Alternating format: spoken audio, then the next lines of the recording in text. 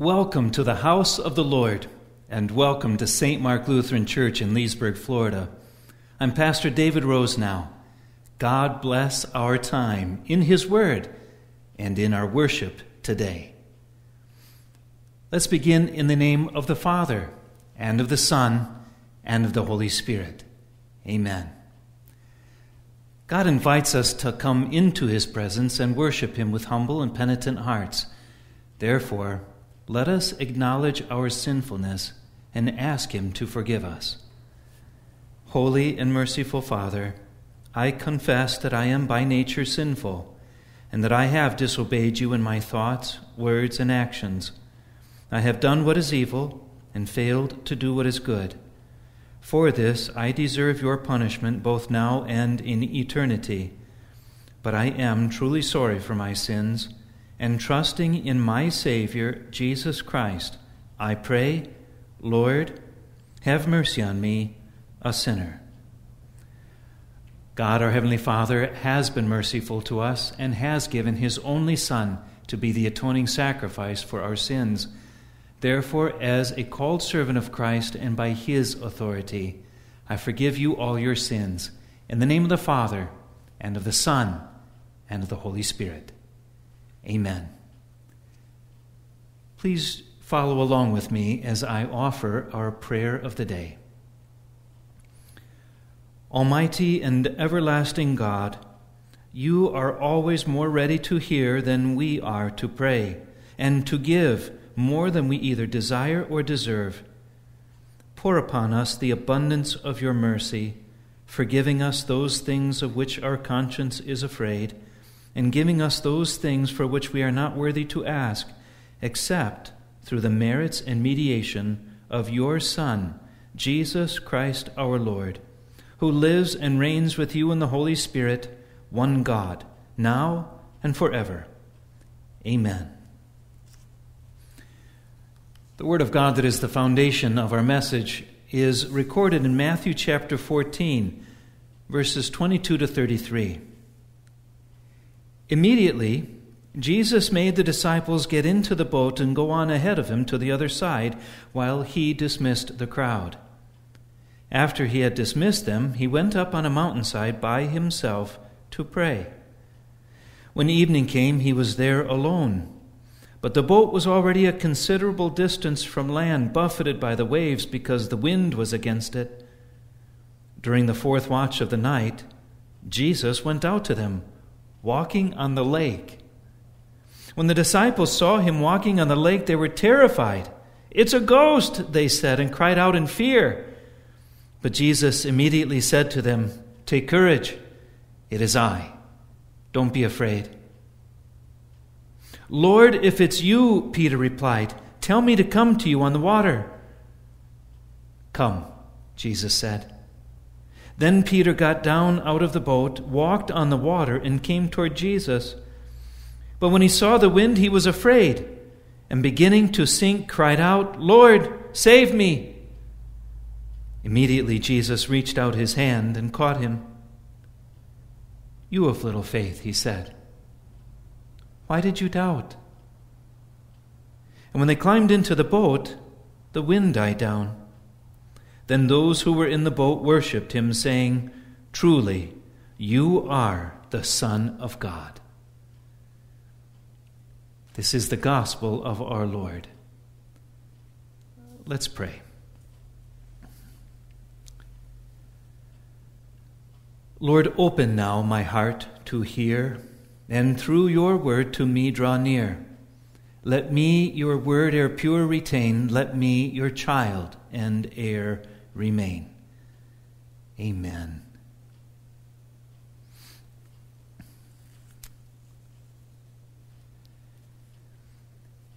If anyone ever thinks that reading the Bible can be dry sometimes, they should read the action packed sea storms, two of them that Matthew records for us. At first, they sound a lot alike, but Jesus used each storm to teach his disciples something that he wanted them to remember for the rest of their lives and something that he wanted to use to lift their spirits and to lift ours, to keep our heads above the water when storms might happen in our lives. When the first storm happened that Matthew records for us, Jesus was in the boat with his disciples when a furious wind came out of nowhere in the middle of the night. Waves crashed over the boat, and the disciples thought they were going to die. Jesus said, You of little faith, why are you so afraid? That's the time maybe you remember that Jesus stood up and he commanded the storm, Quiet, be still. And immediately everything was calm. That night the disciples asked, What kind of man is this? Even the winds and the waves obey him. That giant Jesus showed them that he has power over all of nature. And each new day he showed them more. When they landed on the other side, they were met by two men who were possessed by demons. They had to live all by themselves, tortured in a graveyard. Jesus commanded the demons to come out of the men, and he had them go into some pigs. Jesus showed that he had power over the devil. Another time, when they had crossed over the sea once more, Jesus met a man who was paralyzed. Take heart, son, Jesus said. Your sins are forgiven. Get up and walk. Jesus showed that he has power over paralysis and power to forgive sins. In another town, he healed a woman who had been bleeding for 12 years. And then he went on from there and he went to the house of a 12 year old little girl who had died. He took her by the hand and raised her back to life. Jesus showed that he has the power over disease and power over death. Jesus healed with a power they had not seen. He taught with an authority they had not heard. He loved with a compassion they had never known. Now, on this night of the second storm that Matthew records for us, Jesus had just had a day of days. Earlier in the day, Jesus received, received the heartbreaking news that John the Baptist had died, well, had been killed by Herod. Jesus took his disciples and he wanted to go away with them to a private place but the crowds found out where Jesus was and they followed him. They wanted him to preach and teach and heal some more. When Jesus saw the crowds, tired and sad as he was, he had compassion on them and healed them. It was getting into the evening hours, and that's also the day that Jesus fed 5,000 men, and who knows how many women and children were with them with five loaves of bread and two fish. So abundantly that the disciples picked up 12 basketfuls of leftovers. Yet, in spite of all the disciples had seen, Jesus knew that he needed to teach them in a memorable way to turn to him, to keep their eyes on him, no matter what might happen in their ministries and no matter what might happen in their lives. And after a very long day, Jesus decided that night was the right night to teach them a lesson in a storm. Jesus told his disciples to get into the boat and go on ahead of him. He would catch up with them later. And then Jesus dismissed the crowds, and when everybody was gone, and he was all by himself, Jesus went up on a mountainside to pray. What a gentle reminder for all of us to take time to spend some time in prayer with our Heavenly Father when things are weighing heavy upon us. While Jesus was praying on the mountainside, his disciples had already made it a considerable way out into the sea, but they were straining against a wind that had come up and was working against them. Matthew tells us that it was sometime between 3 and 6 o'clock in the morning. That's an awful dark and lonely time to be out in the middle of a sea. They had to have been exhausted. Who could blame them when they saw someone walking out towards them on the water and they thought it was a ghost. Jesus said, Take courage. It is I. Don't be afraid. he calmed their fears.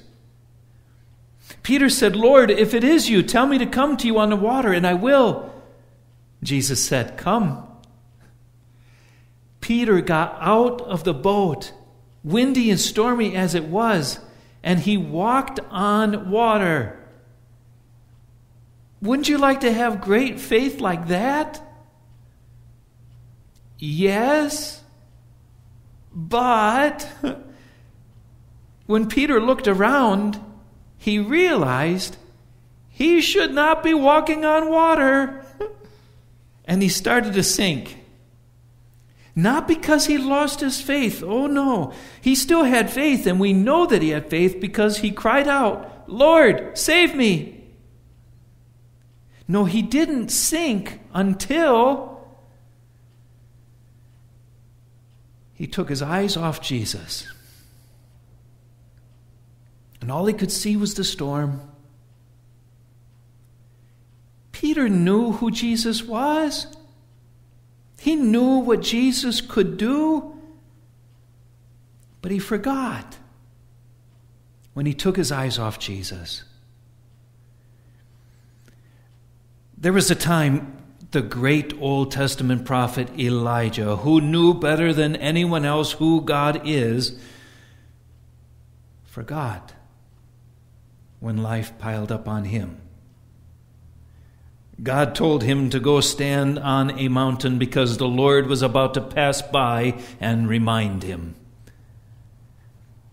A powerful wind tore the mountain apart, shattered rocks. But the Lord was not in the wind. Then there was an earthquake, but the Lord was not in the earthquake. Then there was a fire but the Lord was not in the fire. Then came a gentle whisper.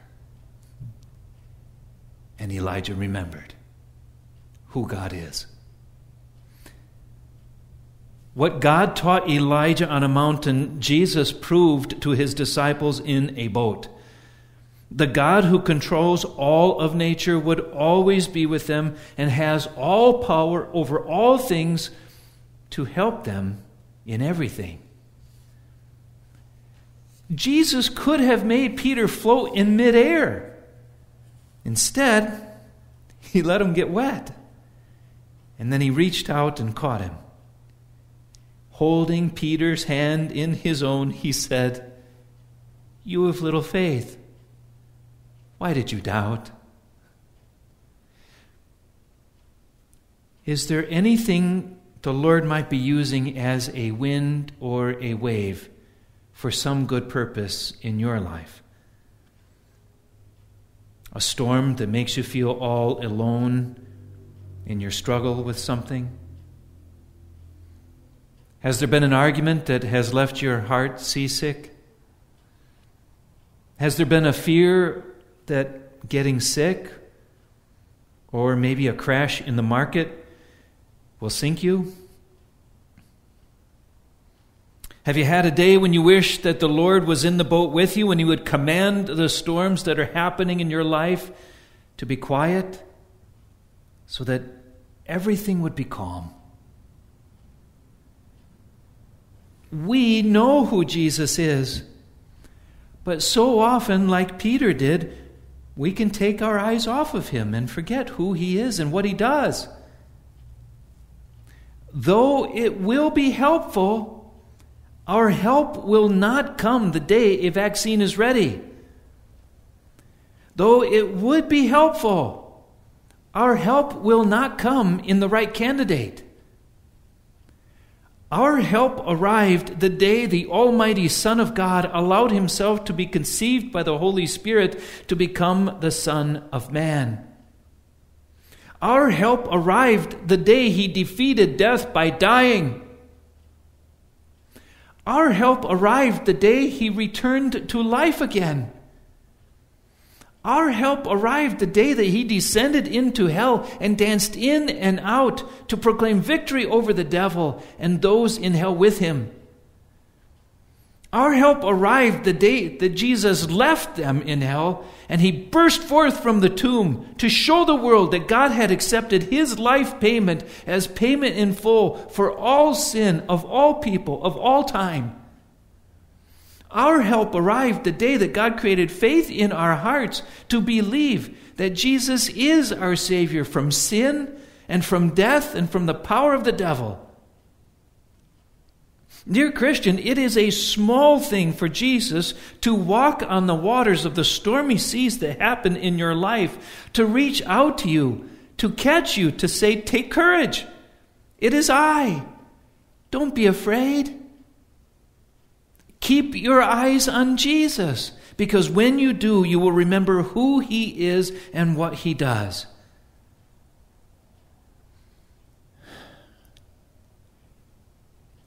I don't think that he will ask you to walk on water.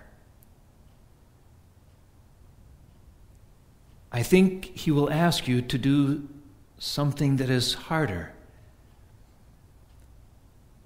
Maybe he will ask you to have patience and to think of others' needs before your own during a pandemic. Maybe He will ask you to walk through the storm of a long lasting illness. Maybe He will ask you to take courage each new day through a battle with cancer, or the challenge of heart disease, or the persistent pain of arthritis. Maybe He will ask you to walk through long and lonely days of living in a house that is quiet because you're missing the laughter of a loved one. Maybe he will ask you to summon up the courage to let go of a grudge. Maybe he will ask you to ask him for help with your anger and then to listen to him. Maybe he will ask you to listen more than you speak. Maybe He will ask you to have the courage to admit that in some of the storms that have happened in your life, you have caused more of the wind and the waves than you have ever been able to admit.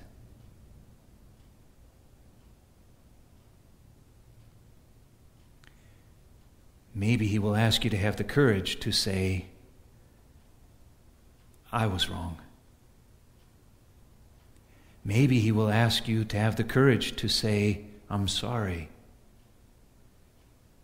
Maybe he will ask you to have the courage to say, I forgive you, and mean it. If Jesus asked us to do any of these things on our own, we will sink every time. But the same loving, patient, powerful God who was with Peter both when he walked on the water and when he was sinking in it is and always will be with you. Jesus appears to you in his word to take you by your heart and to take you by your hand to say, Take courage. It is I. Don't be afraid. Jesus calms our fears and strengthens our faith day by day, week by week, storm by storm. And through each one, he reminds us to keep our eyes on him, to remember who he is, and to remember what he does. As we read God's Word, we discover one gem after another, and there is a beautiful one hiding in plain sight for us today in this part of God's Word. Did you notice that in this second storm, Jesus first calmed the disciples' fears, and then he stopped the storm. Do you see what this means for us? It reminds us that our Savior does not need to stop a storm before he is able to calm our fears. He might let the storms continue for some good reason that we can't see at the moment. But either way, in stormy waters or in calm, Jesus calms our fears by turning us to see Him, to see who He is, and to remember what He does, and to place our hope and trust in Him. Truly, He is the Son of God. Dear Christian, Jesus loves you. Jesus strengthens you. Jesus forgives you. Jesus calms your fears. Until we reach the peaceful calm of heaven, when we see Him with our own eyes and hear Him with our own ears, we expect wind and waves to happen in our lives. But they don't need to sink us. Not when we have His voice reminding us to keep our eyes on Jesus. Dear Christian, take courage. Don't be afraid. Keep your eyes on Jesus. Amen. I invite you to follow along. I'm going to offer a prayer for us, and then at the end, I will invite you to join with me so that we can all say the Lord's Prayer together. We pray. Dear Jesus, thank you for reminding us to keep our eyes on you. Remind us each new day, dear Lord, because the troubles in our lives and the troubles in our world constantly seek to turn our ways our eyes away from you and to turn our eyes and our focus back on ourselves. As we place our hope and trust in you and in your limitless power, help us also to show love for others by practicing confident caution in these times while we strive to be good managers of the health and the bodies that you have given to us. Please place your hand of healing and guidance upon our country and all who are in it. Dear Lord, you are the only hope we have for order once again. Protect your church here and in all the world so that we might point more and more to keep their eyes on you. Please protect all the healthcare workers in the hospitals and the nursing homes and the rehab centers, all firefighters, everyone who's serving in law enforcement, every public servant, and everyone who's serving in our United States military. Please keep us safe and in your care. For these and for so much more, dear Lord, we pray the prayer that Jesus has taught us to pray Our Father, who art in heaven, hallowed be thy name. Thy kingdom come, thy will be done on earth as it is in heaven. Give us this day our daily bread, and forgive us our trespasses as we forgive those who trespass against us and lead us not into temptation, but deliver us from evil. For thine is the kingdom, and the power, and the glory, forever and ever. Amen. Dear Christian, please receive the blessing of the Lord. The Lord bless you and keep you. The Lord make his face shine on you and be gracious to you. The Lord look on you with favor and give you peace. Amen. Thank you for taking time to gather with me to be fed and strengthened by the Word of God. What a timely, practical reminder for us to keep our eyes on Jesus. I'm going to ask you to please also keep in your prayers the congregation that called me to be their pastor out in California as this past week I announced to you on an email that after prayerful consideration, I've decided to remain here as the shepherd at St. Mark in Leesburg, Florida. The Lord has so much work to do everywhere. It is good for us to pray like Jesus told us to pray, to ask the Father to send out more workers because the harvest is plentiful, but the workers are few. Please do pray that the Lord might send more workers out into the harvest field.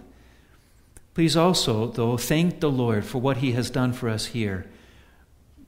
Here, so many get to hear this encouraging news of God's love and reminders of His forgiveness, and so many more that the Lord has used this strange time of the pandemic. And because of this, we started up the YouTube, and so many more people beyond our walls are hearing the Word of God, and their faith is being strengthened by it. God is amazing like that.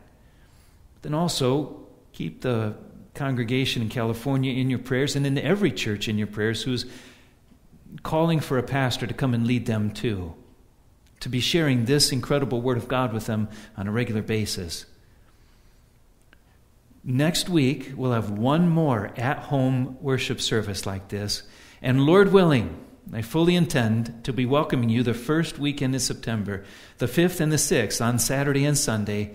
Lord willing, I'll be outside to greet you, and we'll continue on as we have, being cautious and make sure we're socially distant while we're in worship, and we'll ease our way back into normal. God bless your day today, dear Christian. God bless your week. Keep your eyes on Jesus. I'll see you real soon.